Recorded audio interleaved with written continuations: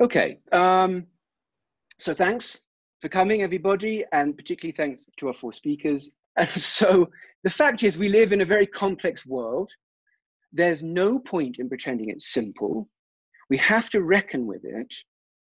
Uh, and I think it's something that we're not doing very well as a society, ours or any other on the planet. And many people in this room, I would say perhaps all the people in the room, have dedicated their lives, I think, to worrying about trade offs.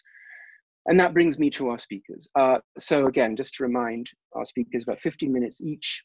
Um, I'll introduce you in turn to, uh, to the folks in the room, virtual SFI. Um, just write down your questions and we'll try and get to them in the Q&A at the end.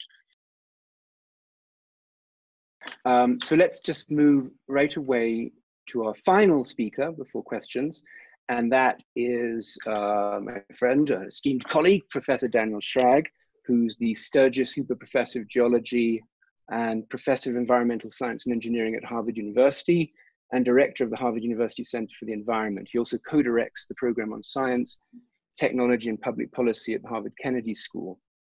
Um, most importantly, of course, by orders of magnitude is that Dan is the co-chair of the SFI Science Board with Melanie Mitchell. Uh, Dan got his bachelor's at Yale and um, his PhD at Berkeley. Uh, he was made a MacArthur Fellow in 2000, and from 2009 to 2017, he was on President Obama's Council Advisor for Science and Technology. Take it away, Dan. Thank you, David. And thanks to everybody Peter, it's nice to see you. Peter's an old friend. We're both geochemists, and we've uh, uh, I, I, see him less now that he's out in Arizona, but I he looks all the better for it. Um, so I want to take a little bit of a different perspective. First of all, I want to say that you know Jack, when you talk about how this uh, pandemic is you know once in a hundred years, I'm in a field where seeing something you know as a hundred year event happens like every other week um, and so when you deal with climate change, uh, that's the nature of the business these days. Um, I, am going to talk about something similar to what Peter talked about. I will talk about climate, but I'm thinking about timescales, and I have, as a geologist, I'm used to doing what Raissa talked about, which is the hierarchy of timescales and the intersection of timescales. And in most of the processes that I'm interested in, there are um, a whole hierarchy of timescales, and as geologists, we are sort of trained to figure out what's the relevant timescale and what are the right processes that are important over that timescale. We do it instinctively, not mathematically, although some of us do it mathematically. Um, uh, for the Georgetown folks, I should say that I have been connected to the Santa Fe Institute since I first came out and gave a talk there in 2000 and then came and did a sabbatical there in 2002. And it is, it is of all of my uh, titles, it's probably my favorite connection. It is a source of um, continual inspiration and uh, um, excitement, intellectual excitement. And so um, anything you do that emulates them is a good thing. Um, I want to talk about the time scale of climate change and sort of take up where Peter said, but I'm going to end up in a different place. Let me see if I can uh, share my screen very briefly. I'm not going to use slides very long, and I'm hoping I won't talk for very long either, um, although we have a disease that makes that difficult. Um, so this is climate change. This is global temperature for the last 150 years, and you see the pattern of going up and then plateauing a bit, and then going up again, and then it plateaued a little, and then kept going up. Um, um I think that we don't understand time very well at all. And COVID is a perfect example of that. I know, for example, um, you know, I heard lots of people saying, wait a second, Georgia just opened up. Georgia opened up six weeks ago. Why haven't the cases gone out? Why haven't the caseloads gone way up? And the answer is, I think many people were surprised it took eight or 10 weeks before the cases started skyrocketing in Georgia and Florida and Texas. Um, and the answer has to do with the time scale of this disease. And it's interesting how poorly we've dealt with that. Um, how poorly we understand and anticipate things that have longer timescales, except those are timescales of weeks, maybe months. Um, I'm used to dealing with timescales of decades centuries, millennia, tens of millennia. Um, let me just show you this next graph. And, and you know, Peter showed you a picture of the temperature anomaly today. What this is, is the average temperature using a five-year smoothing. Uh, wait, can you see this? Hold on, let me, can you see this? Yes, okay. I, we can see it. I don't, I don't see an animation yet. Oh, there, there you go, yeah. Okay, so what this is doing is marching through time with a five-year smoothing average. And it's interesting, you don't see much. Um, actually, it was kind of fuzzy for the first, until the mid 70s. And then post 70s, it's really taken off. And if you look at the last bit of this simulation, this is the temperature anomaly relative to 1951 to 1980 average. And just, just what Peter showed. But look at how this heats up at the end. Um, now, if you look at this, there is a pattern here. The pattern is, of course, the Arctic is warming a lot faster than the rest of the world. But the other pattern that I hope everybody sees is that the continents are warming a lot more than the rest of the oceans. That is exactly what you expect from a simple baby physics model of global warming. The oceans mix, the land doesn't. And so the oceans can take up heat. They're a giant cold bathtub that we live in, and they are doing good for us. They are essentially slowing down the approach to radiative equilibrium. We've added greenhouse gases to the atmosphere. The Earth wants to heat up to achieve radiative equilibrium as a black body, but it can't do that because the oceans keep sucking up heat and mixing it downward. And that's good. If we were covered completely with land, the Earth would achieve radiative equilibrium in a decade or so, and the whole world would be about twice as hot as it is today. That's the good news. The bad news is that 90% of the energy imbalance from putting greenhouse gases in the atmosphere is going into heating the ocean. Ocean warming is global warming. It's 90% of global warming. And it's going to continue.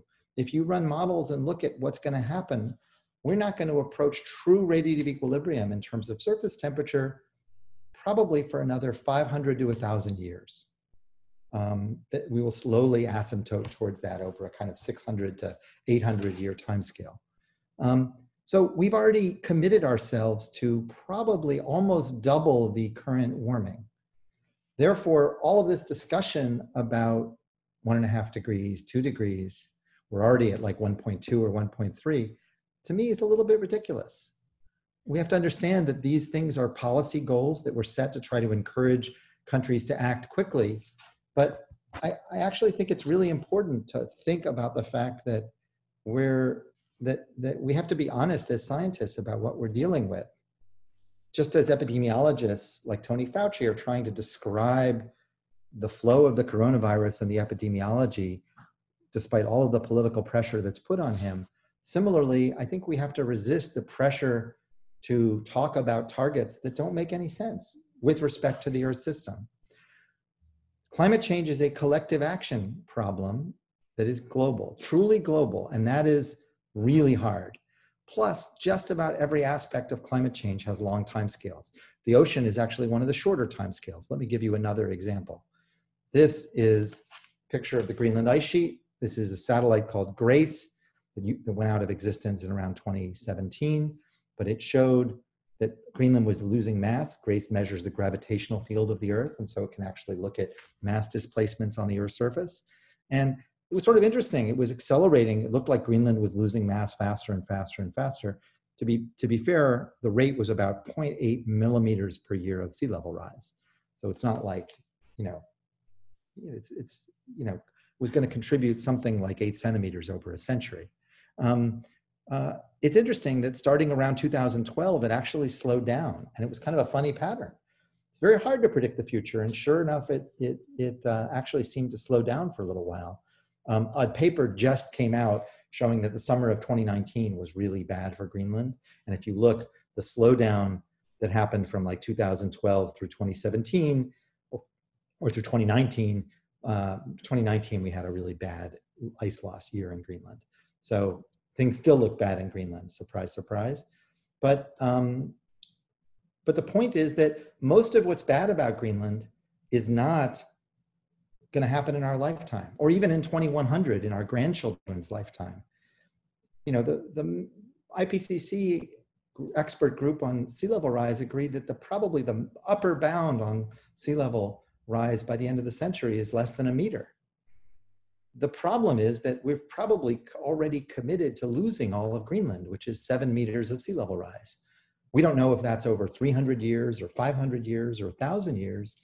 But the point is, this is going to be a boundary condition that future generations are going to have to be living with in perpetuity, essentially, for thousands of generations. This is a paper that just came out this year using satellite altimetry, looking at changes in the elevation in Greenland and Antarctica. And you can see in very high resolution what's happening and where there's changes in elevation and loss of mass. Um, a similar situation is happening in Antarctica. There's a um, I don't know if you can see my arrow, but there's a there's a just just um, around the corner from the uh, the um, peninsula, sort of the Amundsen Sea region. Um, there's a glacier called the Thwaites Glacier that you may have heard of because it's getting some press finally. Um, the Thwaites Glacier, because of the breakup of some ice shelves, is now um, flowing into the ocean. It's slow. It's probably going to add a meter or two of sea level rise over the next 100 or 200 years. Um, probably 200 to 300 years. It's probably not going to contribute that much in the next century. But here's the point it drains a big part of West Antarctica, and there's nothing to stop it. Unlike Greenland, that is melting in the summer, Antarctica is not melting. Ice is flowing downhill, it's just gravity. And so you can cool the earth back down, and that's not going to stop the Thwaites Glacier system. It's still going to flow into the ocean. We are committed to meters of sea level rise no matter what we do. And again, that is a legacy of, of us and our past generations for generations to come, for thousands of generations to come. And that is, I think, an important thing. But the final thing I want to say is that I've been studying energy systems now for the last 15 years. I want to say that you know, fast action, well intentioned when people call for fast action. It is urgent, but understand that we're dealing with a long time scale system. And in the same way that the Surgeon General the other day said, oh, if everybody wore masks, we could stop this whole disease in two weeks. Well, that's not true. That's not what good epidemiology would say. There's a time scale to the system, and you can intervene, but you can't intervene significantly faster than the time scale of the um, incubation and spread and ultimately demise of patients. Um, that is, we are already committed to thousands of people dying in the US from COVID, no matter what intervention we take at this point. Unfortunately, with climate change, that's true as well, partly because the time scale to disassemble and reassemble our entire energy system it can't be done in five years or 10 years or 20 years. We can accelerate it. I actually am hopeful that we could do it in 30 to 50 years, but I think it's an incredible challenge. It's, it's again, a global collective action problem, and it is massively expensive, and it includes technologies that many of which we don't even have yet. So um, there are a couple of things I want to say about this. First of all, I think when we think about these timescales, we have to be honest with ourselves about the timescales of the systems we're dealing with and adjust accordingly. And um, when you're trying to change a system that has really long timescales, um, I, I, think you have to be wary of people promising to do it on short timescales because often it comes from a lack of appreciation for the underlying timescales in the system. Um, and for example, in the Democratic debate, we heard all about who would reduce carbon emissions to zero in the US, how quickly. So, you know, Joe Biden said he'd do it by 2050, and Elizabeth Warren said she'd do it by 2040, and Bernie Sanders said he'd do it by 2030. The fact is, none of them have any idea how long it's going to take to reduce emissions to zero in the US. Nobody does, because we don't even know what the technology is to do it. But what is it that we need to do in the next five to 10 years to give us better options? What are the investments we need to make to drive things forward and accelerate the change? Because one of the things we've learned is that technology always makes things easier to solve than we thought at the beginning. And I think that's an important thing. And I just want to end on a couple of quotes. One from H.G. Wells, who said, We are kept keen on the grindstone of pain and necessity And then Charles Darwin, who said it is not the strongest of the species that survives, not the most intelligent that survives, it is the one that is most adaptable to change. And I'm going to stop sharing here and just talk to you all. Um, I, I actually think that the thing that we've left out is the remarkable resilience of humans. Um, uh, I fear that natural ecosystems are much less resilient, but humans are remarkably resilient in terms of their ability to deal with things and adapt on various timescales. If we were to go back to a pre-industrial climate, that is a non-anthropogenic climate, I'd be miserable here in Boston. You know, I wouldn't make it through one winter. Um, and uh, I've gotten soft. I think we all have because of the current climate. And, and uh, that's just to say that uh, we need to think about how humans respond to this and, and, um, and how they deal with these long time scales in such complex systems. One final comment, and this is kind of to provoke Sam Bowles to say something, who's, who's really insightful and thoughtful on these things. Um, and that is just that um, too often, and ray said this is not at all an attack on you at all, but too often in the climate discussion, there's been a sort of dominance of economics, neoclassical economics, thinking about optimization and discount rates and trade offs. And the question is posed how much should we spend to avoid these damages in the future? Well, that's a nice question to ask. And the answer is not that much. That is, that's what people don't want to spend that much. But it's the wrong question.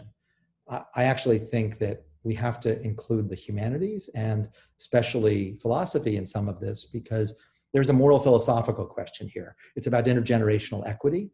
And the question is what obligations do we have to future generations to offer them the same opportunities that we had? And I think that's a more fundamental question. It's not necessarily an economic question, although there are some, economic, some, some economists like Amartya Sen and others who are thinking about this. But uh, I, I, I hope Sam Bowles will jump in because I know he's thoughtful on this stuff. I'll stop there. Thank you very much.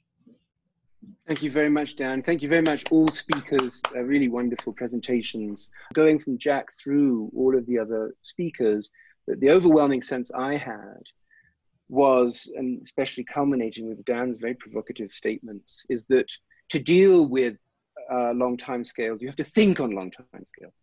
And we might be fooling ourselves if we imagine that there is some local heuristic that, with us being unawares, accumulates collectively to the time scale that we're targeting without us being aware of it. And I think that's a very interesting point.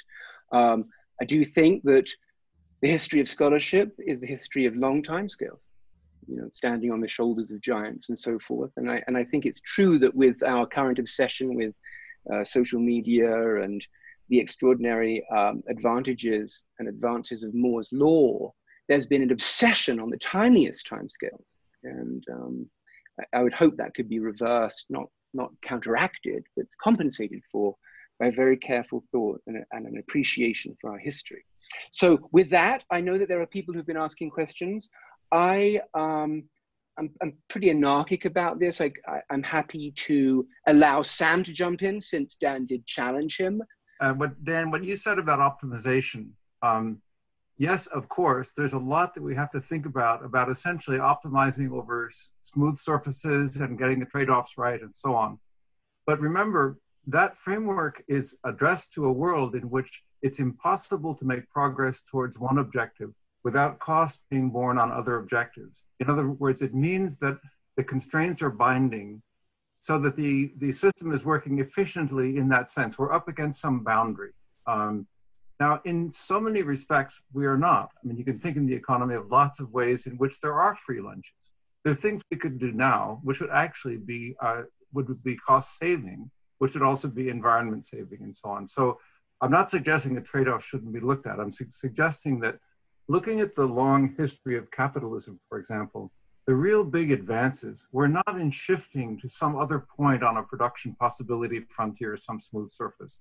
It was breaking the constraints through new technologies, new, new types of organization, and so on, so that a, a dynamic framework which says what really happens, the big things that have happened, both in terms of human well-being and in terms of the, of the threats under which we're operating, have to do with changes in, in the constraints under which we're operating.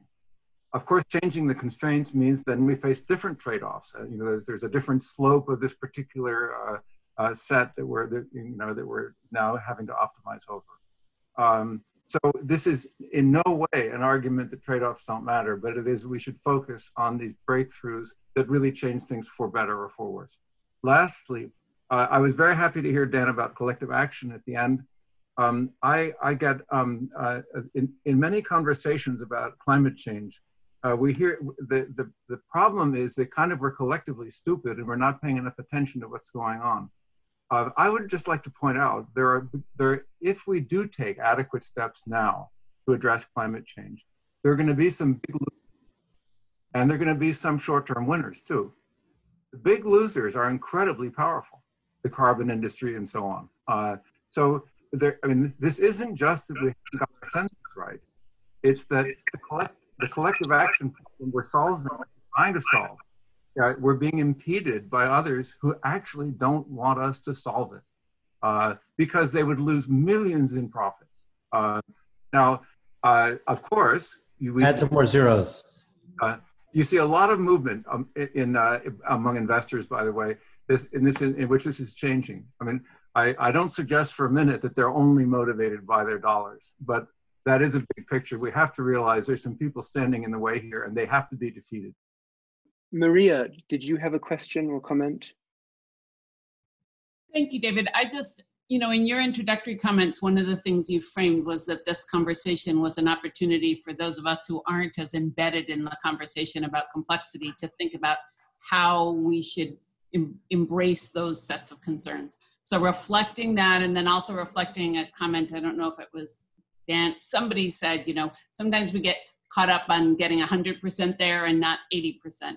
So thinking about an organization or an effort that's really focused on moving policy solutions forward, how do we think about the cases where it really is critical to engage the complexity of the problem? Because in the absence of that, we won't even understand the local, the, the kind of um, marginal change that we need to make. We'll misunderstand the problem fundamentally versus those problems where you know engaging that complexity might be the right way to do it but it we can make some progress without it. And maybe in the in the deference to to the 80% that should be the way we should move forward.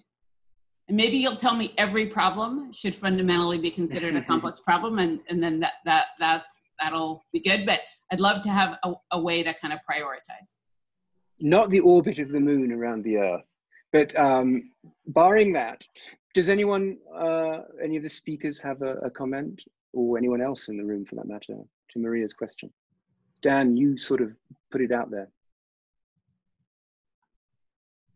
Yeah, I mean, I think um, anybody who's worked in policy understands the, the idea of compromise and the idea of trying to just move forward. Um, I, I think um, I, I think there's an interesting problem in terms of climate change where there's been you know for a long time there was no push it was all little stuff.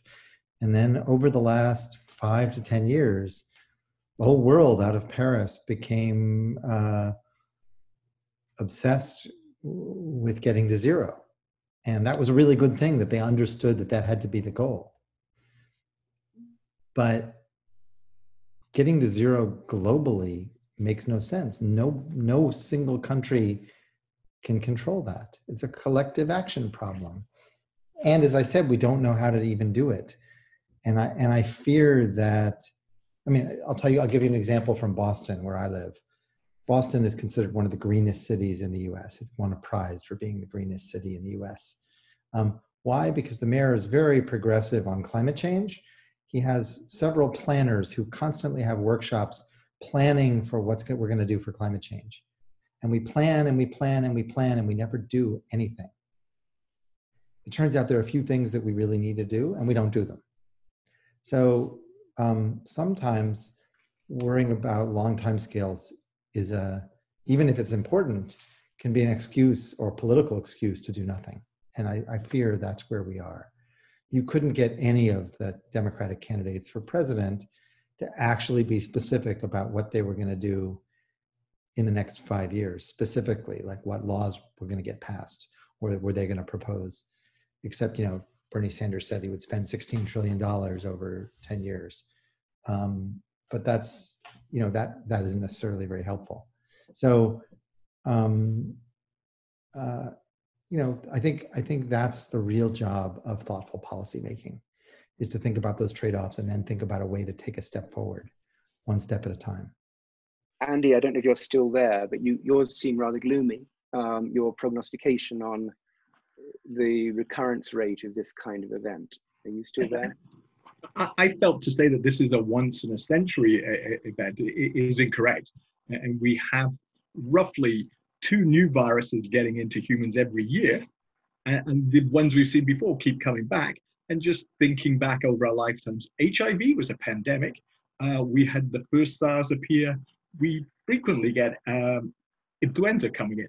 So, so these things appear roughly at the same time scale as you get a new president in the US or a new prime minister in Britain. So, so, so they are much more, and we should be prepared for the next one, where again, and we've been doing some calculations uh, of what do we need to do to, to, to stop another one coming along. And there, instead of trade-offs, you tend to see win-win situations. So this is this current epidemic is costing us maybe five, it may go up to eight or 12 trillion dollars. The two main things we can do to stop the next one would be reducing tropical deforestation, because that's where lots of these things are coming from.